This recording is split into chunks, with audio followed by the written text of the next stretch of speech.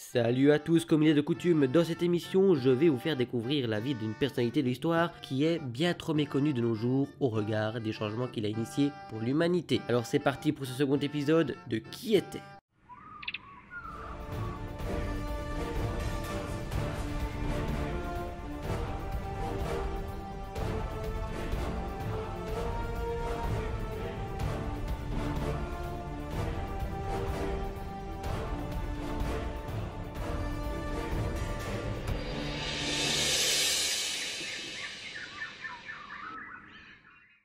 André Vézal est né le 31 décembre 1514 à Bruxelles. Le petit André est issu d'une longue lignée de médecins et non pas des moindres. Hein. Son arrière-grand-père était notamment le médecin de Charles le Téméraire. Son grand-père fut le médecin de Maximilien de Habsbourg, empereur du Saint-Empire romain germanique, tout comme son père, qui servit également le successeur de Maximilien Ier, le célèbre Charles Quint. Tout prédestinait donc le jeune André Vézal à suivre la tradition familiale. Son apprentissage de la médecine le fera voyager dans quelques pays d'Europe. Il étudiera notamment en Belgique, en France et à Venise où il obtiendra son doctorat. Cependant, il ne faut pas vous imaginer la médecine de l'époque comme la médecine que l'on connaît aujourd'hui. Pour nous resituer dans le contexte historique, nous sommes en 1537, c'est-à-dire en plein dans la période de la Renaissance, une période de l'histoire qui s'est étendue de 1300 à 1700 après Jésus-Christ et qui connaîtra de grands bouleversements dans les domaines tels que l'art, la littérature ou encore les sciences. André Vézal est notamment contemporain de Copernic et si vous ne savez pas qui était Copernic ou ce que fut son œuvre,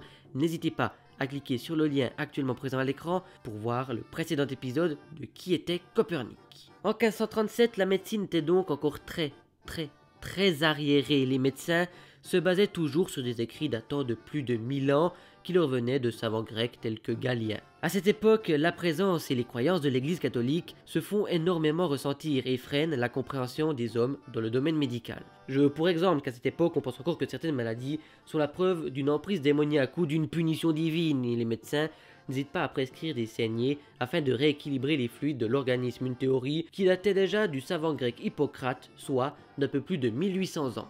Le jeune Vézal sera rapidement lassé d'entendre ces vieilles théories qui pour lui sont erronées et d'un autre âge. Ce qu'on connaissait de l'anatomie humaine était alors simplement déduite des dissections animales, autant vous dire qu'on était bien loin de savoir situer les organes et encore plus loin d'en comprendre leur rôle et leur fonctionnement dans l'organisme. Alors professeur dans la République de Venise, André Vézal tentera de se procurer des corps humains afin de faire ses propres recherches et il y parviendra. Car si l'autopsie était interdite sur la plupart des corps humains, l'Église n'avait rien, alors rien à faire des corps de criminels condamnés à mort, qui n'étaient d'ailleurs pas autorisés à être enterrés dans un cimetière catholique. Même si Vézal avait été formé selon les croyances anciennes, il est persuadé que la vérité est ailleurs. Après mille ans de stagnation dans le domaine médical, André Vézal allait propulser l'humanité dans un nouveau niveau de connaissance en matière d'anatomie, de soins et de compréhension du corps humain. Incision après incision, couche après couche, organe après organe, Vézal perce petit à petit les secrets du corps humain. Il définit non seulement l'anatomie humaine, mais sa grande expérience fait de lui l'un des médecins les plus éminents, car il sait désormais comment fonctionnent et interagissent les principaux organes de notre corps, les muscles et les vaisseaux sanguins. En 1543, Vézal publie l'ouvrage qui sera l'apothéose de ses connaissances, De Humani Corporis Fabrica,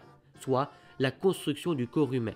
Cet ouvrage va marquer le monde de la médecine car non seulement il décrit l'anatomie humaine avec une précision inégalée pour l'époque, mais surtout car il s'agit du premier ouvrage exhaustif en la matière et ce recueil de connaissances va faire de l'étude de l'anatomie une branche indispensable dans l'enseignement de la médecine. Quant à Vézal, il gagne en renommée et soignera la royauté espagnole, mais ses diagnostics précis inquiètent les patients et leurs familles qui ne comprennent pas comment le médecin fait pour en savoir plus qu'il n'est possible de constater de visu. Et dans les cas des désespérés où Vézal identifie la mort avant qu'elle ne frappe, certains iront remettre en cause le savoir du médecin, lui prétendant parfois de mauvaises intentions. Bien souvent, Vézal ne pourra pas confirmer ses diagnostics car la religion, toujours très présente, interdit toujours la pratique des autopsies. Toute sa vie, Vézal aura à lutter contre les dogmes de l'Église et sa terrible inquisition. Alors, si aujourd'hui on effectue une radio pour constater d'une fracture, ou si on passe des IRM pour comprendre d'où vient le mal, c'est avant tout grâce à André Vézal qui, avant tout le monde,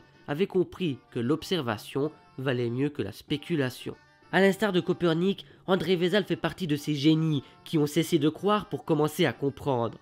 Ils ont refusé le statu quo pour faire avancer le savoir malgré les risques encourus. Et comme le dirait un autre grand génie, ce sont là des blocs ronds dans des trous carrés qui ont su voir les choses différemment. Certes, ils en ont dérangé plus d'un, mais ils ont eu le mérite de changer le monde et ont poussé l'espèce humaine vers un autre niveau de connaissance. Et c'est grâce à ce genre de génie assez fou pour penser pouvoir changer les choses que l'homme est aujourd'hui ce qu'il est.